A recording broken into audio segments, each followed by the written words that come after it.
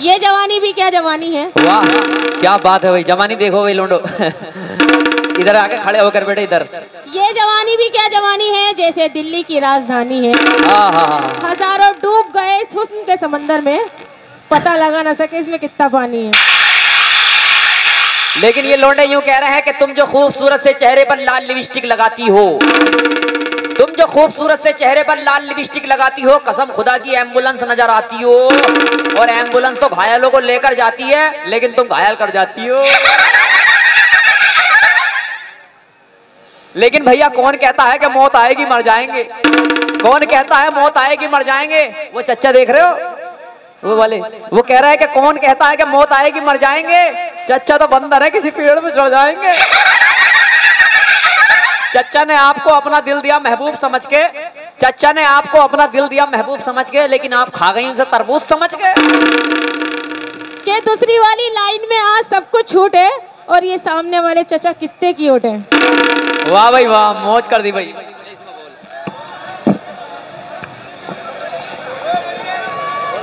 Hello. ये चच्चा पुराने हैं पुराना खाए हुए हैं। ये चच्चा पुराने हैं पुराना खाए हुए हैं। और अपना दिल किसी कोने में लटकाए हुए हैं। उस्मान भारती जी चच्चा को अपनी बातों में मत उलझाओ। चच्चा पहले ही तीन तीन चच्चियाँ फंसाए हुए हैं। ऐसा नहीं है ये वाला शेर। फंसाए हुए नहीं है। वो तो ऐसा है कि चच्चा आज बहुत दिनों के बाद गरमाए हुए हैं। और आठ दिन के बाद ये आज नहाए हुए हैं और मोहतरमा उनकी तरफ़ को मत देखो नीली नीली आँखों से। पहले से तुम्हारी अम्बा को फंसाए हुए हैं। अच्छा गाइस कुछ जो बुज़ुर्ग लोग हो जाते हैं ना एजिट उनकी कुछ बातों पर भी बहुत अच्छा मज़ा आ जाता है। मान लो जैसे शादी के माहौल में जो बुड्ढे बुड्ढे पहुँच जाते हैं भैया, रसगुल्ले सूटने के लिए ना तो उनको क्या है कि ठंड के मौसम में खाना वाना खाने के बाद में चाहिए होता लिहाफ। तो कुछ ऐसी जगह थी मतलब उस जगह पर लिहाफ थोड़े कम थे, कमरे भी सोने के लिए कम थे। तो एक बड़ा मियाँ कमरे में जाकर लेट गए, आराम करने लगे। जो लिहाफ था, उनके लिहाफ में थोड़ी सी गर्माही आई थी। इतनी देर में छैल छबीली जो लोंडिया हो मैं छैल छबीली लोंडिया होती ना ब्याह शादियों में, वो आई। गॉड दादाजी, आप एक काम करो। हमने देखो मेरी निशा आंटी बसीमा खाला। नसीमा, आपा, हम सबकी सब सारी सहेलियाँ मिलकर ताज छड़ी खेलेंगे। आप एक काम करो ना। ओले बोलो क्या हो गया? अब एक काम करो बाजू वाला जो रूम है ना उसमें जाके लेट जाओ। देखिए हम यहाँ ताज छड़ी खेलेंगे। बड़ा मियाँ अच्छा ले बेटी ऐसी बात है। ठीक है वो उस वाले कमरे में से उठ के दूसरे कमरे में जाकर लेट गए। अब लेटे ही थे बेचारों ना गरमाई थोड़ी सी आई थी लिहाफ ओढ़ के। इतनी देर में फिर लड़कियाँ वहीं पहुँच गई। दादाजी प्लीज़ देखियो वो हमारी बसीमा खाला नहीं हम उनकी घर में शादी में गए थे। तो हमने बहुत डांस किया था बहुत इंजॉय किया था। इस बार हम भी बहुत इंजॉय करेंगे। आप ना दूसरे वाले कमरे में चले जाओ प्लीज़ प्लीज़ देखो इतनी सी आह, इतनी सी आह, इतनी सी प्लीज़ प्लीज़ प्लीज़ बड़ा मियाँ परेशान होकर फिर तीसरे कमरे में पहुँच गए। इसी तरीके से सारे घर में जितने भी कमरे थे आठ नौ सारे कमरे बदल दिए।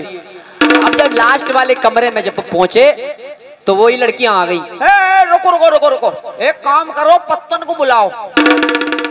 अरे भाई पुष्पन हमें तुम ये बताओ तुमने हमें शादी में बुलाया है कि ये रजाइयाँ गर्म करवाने के लिए बुलाया है?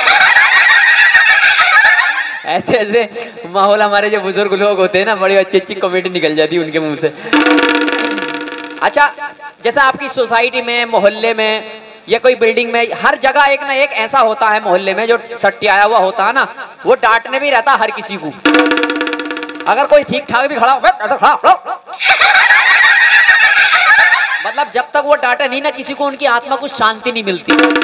अब एक दिन की बात वो घर से बाहर निकले वो डांटते थे सबको। लेकिन भैया जो कौवे होते हैं ना कौवे बहुत साणे होते हैं। उनको चाहिए होता कुछ ना कुछ ये किसी दिन मैं इसमें बलदरा निकालूँगा। कौवे की उनसे दुश्मनी हो गई तो वो जैसे घर से बाहर निकले ना, लोगों को डांटने के लिए। बड़ा मियाँ तो कौवे ने एंगल बना के उनके पर कर दिया। अब वो कौवे पर ही भड़क रहे हैं, बताओ। कह रहे अरे अरे, इसमें बहन का गगन गुटका मारू? अरे, तूने यह कमीज शांति क्या नेकर नहीं पहनता क्या है? कौवा सांगड़ा कौवा क्या कर रहा? अरे, तुम क्या नेकर पहन के करते हो?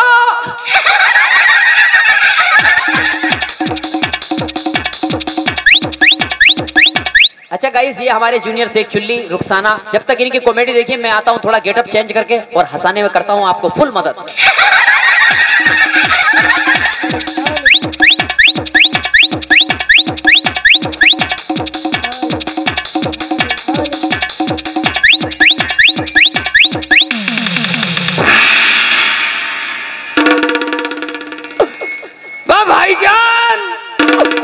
सरवर केड़े वाला क्या हाल है?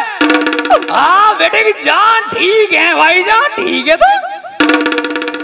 तो भाईजान एक दफे की बात बतलाऊं। सीटी मार रहा सांड। भाईजान जब घर में नई दुल्हन आती है आ, ध्यान क्या जाता ना उसका भाईजान? भाईजान, जब तुम्हारे दोस्त शेख चिल्ली की शादी हो गया, आई। रुखसाना हमारे घर में आई। तो हमारे घर वालों ने, भाईजान, उसका ध्यान रखा खाना पीने का भी। तो हमारा छोटा भाई इकबाल, रुखसाना को खाना लेके जाता भाईजान खाना क्योंकि अम्मी गई खालू गए हाँ तो भैया सुनिएगा। इकबाल भैया छोटे। हाँ भैया से चिल्ली। भाईजान अपनी भाभी रुखसाना को खाना देकर और नहीं नहीं आई है। जी अभी जाता हूँ।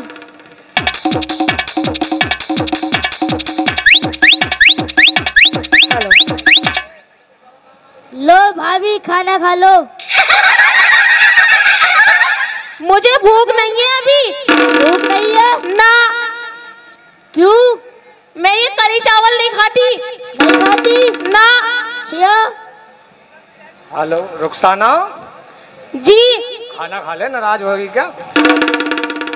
मैं वो करी चावल नहीं खाती हूँ और और ना आलू गोभी खाती हूँ और ना साग खाती हूँ। तो हलीम मंगा दूँ? मैं हलीम भी नहीं खाती।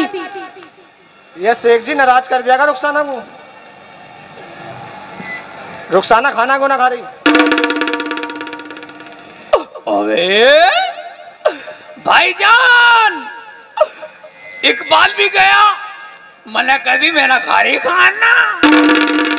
भाईजान अब्बू भी गए। मैं मैं ना खारी खाना चाहिए भाईजान नुकर कड़ी चावल मैं खाती ना हूँ। तो भाईजान, हम भी जाके देखते हैं। हाँ।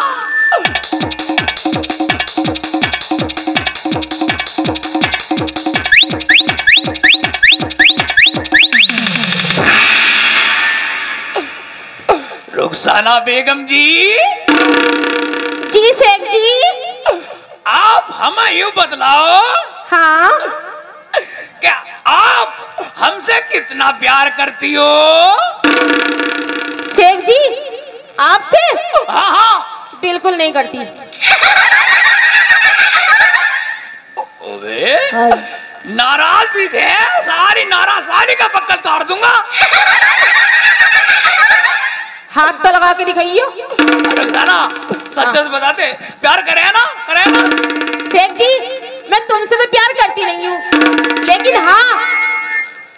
वो नहीं है हीरो लोग जो होते हैं मैं उनसे बहुत प्यार करती हूँ। तूने बदला सारी बात छोड़। हाँ। इकबाल भी लेके गया खाना। हाँ। अब्बू भी गए। हाँ। तो तू खाना क्यों नहीं खा रही? क्या बात है? नाराज़ है क्या? शेख जी हाँ हाँ। तुम्हारे इकबाल कड़ी चावल लाए थे और तुम्हारे अब्बू साग लाए थे। ना ही तो मैं कड़ी चावल खाती ना ही मैं साग खाती ओए। बा भाईजान! बाजी! खालू! भाईजान!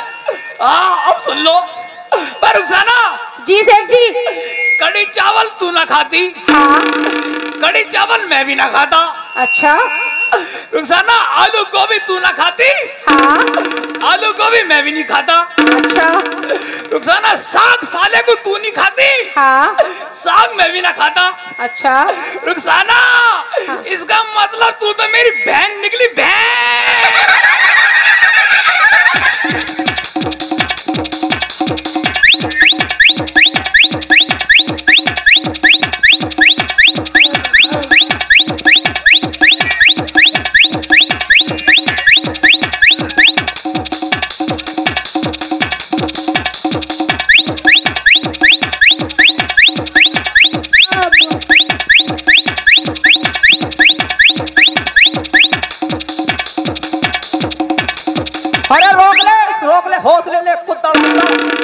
घोड़े घुमारिया मरी गलिया पूरे मोहल्ले में कैसा शोर मचा दिया तूने कम बहुत अरे, क्या बात हो गया? कौन मचा दिया शोर?